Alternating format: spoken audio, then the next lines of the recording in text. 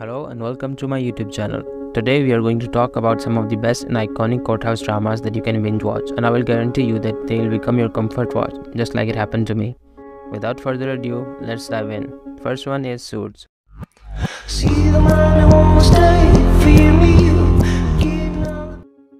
Back in 2011 when Suits first premiered on television, it restarted the legal drama craze and put a new spin to it. The show brought to life charming, charismatic lawyers and legal officers, and paved the way for other legal dramas that came after it. Suits remained to be one of the highest rated shows until its close in 2019. It is a classy and sophisticated take on legal world with characters that greatly built and explored. It is a great watch for the fan of dramedies genre. It has a total number of 9 seasons with 134 episodes, each episode lasting for 45 plus minutes. Many streaming platforms has acquired the rights to the show. It is currently available on Netflix, Peacock, Amazon Prime and other streaming platforms as well. Suits is that kind of show that will compel the audience to get involved in its story and characters. The first episode begins with the introduction of Michael Ross or Mike who dropped out of college and makes a living by illegally taking the law school admission test as a substitute for the original candidates. To pay for his grandmother's medical expense, he agrees to deliver a batch of marijuana for his best friend. However, he nearly gets caught in the sting operation. Trying to flee from the police, he stumbles into an interview for an associate in a law firm, conducted by Harvey Specter, known to be the best closer in the city. Harvey is amazed by Mike's eidetic memory and his understanding of law. He hires Mike as an associate of Pearson Hardman Law Firm, even though he does not have a law degree nor did he ever attend the law school. The two form a bond and agree to protect Mike's secret. Mike starts working for the firm and meets Jessica Pearson, a managing partner for Pearson Hardman. Louis Litt, a corporate attorney in the firm, Donna Paul, Harvey's secretary and close confidant, and Rachel Zane, a senior paralegal and his eventual romantic interest. Gradually, Mike's secret gets revealed to the members of the firm. Different people react to it differently. Many people use this to forward their agenda and attain what they cannot get legally. Mike's secret brings about a lot of changes in the world of suits. Harvey and Mike's relationship is one of the best among them, one of the best romances in television history. Their relationship is based on mutual respect, as Mike has immense admiration for Harvey as his mentor and more so as a lawyer. Harvey admires Mike for his special skills. Their relationship is dynamic, it is also filled with friendly humor and banter. Similarly, Donna and Harvey's relationship goes way beyond the typical boss secretary. Donna is not portrayed to be a stupid character. She is clever, a problem solver, and she often takes a big part in Harvey's cases. The show goes on for 9 seasons revolving around these relationships. Story-wise, there are not many dramatic changes that takes place in Suits. This is the reason why after a few seasons, rating and viewership declined. There is a slight lack of tightness in the plot after the first couple of seasons. Nevertheless, the show redeems itself with a few new characters in the last seasons. The two most interesting characters in the show are Louis Litt and Jessica Pearson. Jessica's character is so badass that she starred in a spin-off called Pearson which delved into her past and her career in politics as the aide of the mayor of Chicago. You're not calling the shots. I am. And whether you think my call is wrong or not, it is still my name on that goddamn wall. You... Louis is another massively interesting character. He is corporate attorney at the firm and loves the firm with all his heart. But he does not hesitate to go against all of them if it gets him what he wants and all he wants is to be cherished and appreciated. This makes him one of the diciest characters in the show. The audience never knows which side he is going to be on. Another plus point of the show is that it develops its characters very thoroughly. No character is in the same position as they were in the beginning of the show. For example, Rachel, who was a senior paralegal, became an attorney herself. She overcame her self-confidence issues and passed the bar exam, just like Mike, and they run their own firm in Seattle later. Suits is fast-paced, clever, and bound to capture your attention. It is a must-watch for fan of dramedies. Even during the lowest points of the show, it has the quality that few others have.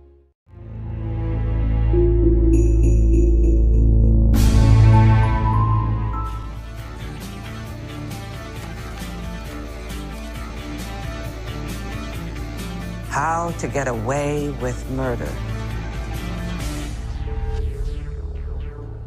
A brilliant but slightly crooked law professor and a criminal attorney. Five fresh-faced law students. The professor believes law cannot be learned from the theories in the books. There is a need to get involved in real-life cases. Her students are desperate to gain her approval. What could go wrong? A novel take on legal dramas with a generous touch of mystery and thriller, How to Get Away with Murder is a brilliant series that will be a great addition to any watch list. The show was first aired in 2014. It has a total number of 6 seasons and 90 episodes. The show is now available to watch on Netflix. How to Get Away with Murder is a drama that will always keep you on your toes with its story and characters. Annalise Keating is an attorney specializing in criminal law. She is also a prestigious professor at Middleton Law School. Every year, she chooses five students from her class who she believes to be more gifted than the others. These five students, called the Keating Five, help her in her court cases. But what Wes Gibbons, Connor Walsh, Michaela Pratt, Asher Millstone, and Laurel Castillo don't know about their professor is that her court cases sometimes overlap with her personal life, and her personal life is not very simple. As the students follow their unconventional and charismatic professor into the world of criminal law, they get irrevocably drawn into a web of murder cases and cover ups each related to the other. To solve these cases, they are often forced to give up their values, their relationships, and sometimes their lives.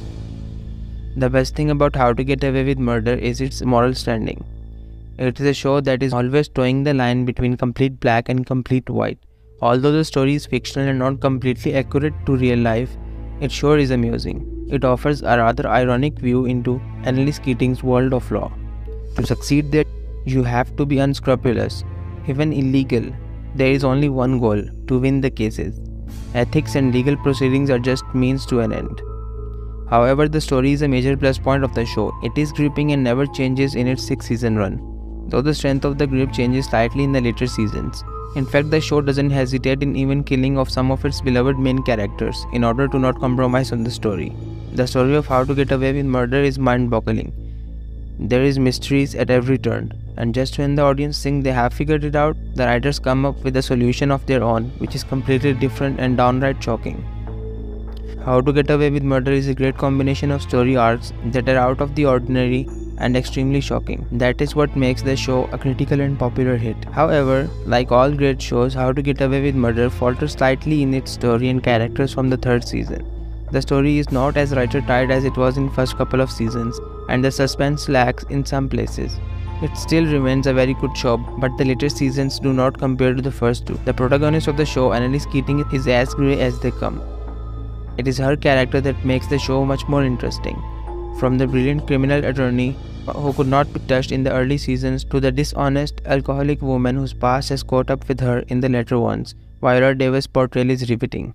You know what? This is your mess, and I'm gonna let you handle No, no, just answer the question. Why me? You know what? I'm trying to change the damn world here. Literally. I'm Martin Luther damn King trying to blow up the entire justice system. Her depiction of Annalise Keating was such a hit with both critics and audience that she won an Emmy Award for Outstanding Lead Actress in a Drama Series, making her the first black woman to win the award in the category. However, it is not only Annalise that contributes to the greatness of the show. Each and every character of Keating 5 has story and secrets. Alfred Enoch as Wes Gibbons, Jack Falahee as Connor Walsh, Aja Naomi King as Michaela Pratt, Matt McGorry as Asher Millstone, and Karla Souza as Laurel Castillo all bring a distinct personality to their characters. They are all connected to each other and depend on one another, but their relationships change very often.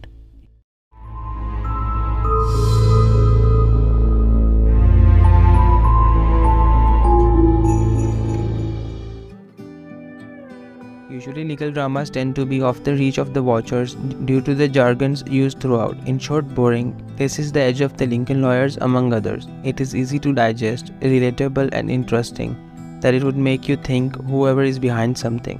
While it uses legal terms, the show explains it and even if it feels heavily on the typical courtroom scene, the show does not bore. Not at all.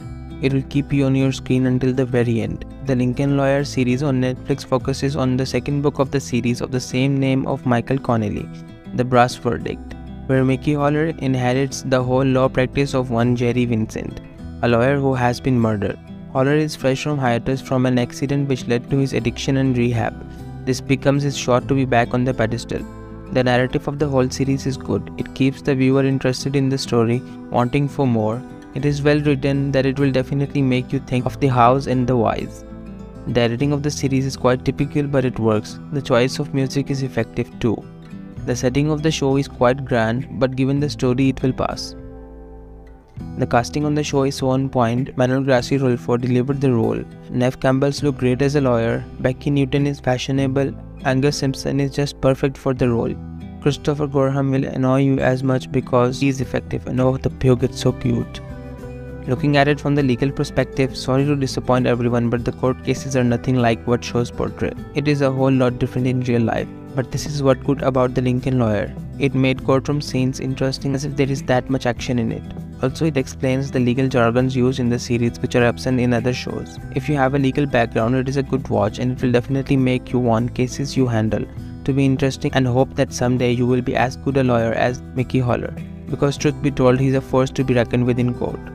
Also, the portrayal of him staying in the office because of tons of work happens in real life. To be clear, not everyone in justice system is corrupt. The show gets to portray different kinds of justice. One that is served in court by the jury when Elliot won the case. One almost fell into miscarriage of justice if not for a higher power in Maggie's case against Soto. Street justice when Du Bois shot Elliot. The justice that Menendez got before and after his new trial. And clear failure in the case of Jerry Vincent. It is in the oath of lawyer to stand for the cause of his or her clients no matter how guilty he or she is because it is a well-enriched legal doctrine that every person is innocent until proven guilty. The law itself has a benefit of doubt and that everyone deserves a defense, a chance to fight. But of all the themes of the show, I'm in awe about how the Lincoln lawyer got one thing on point.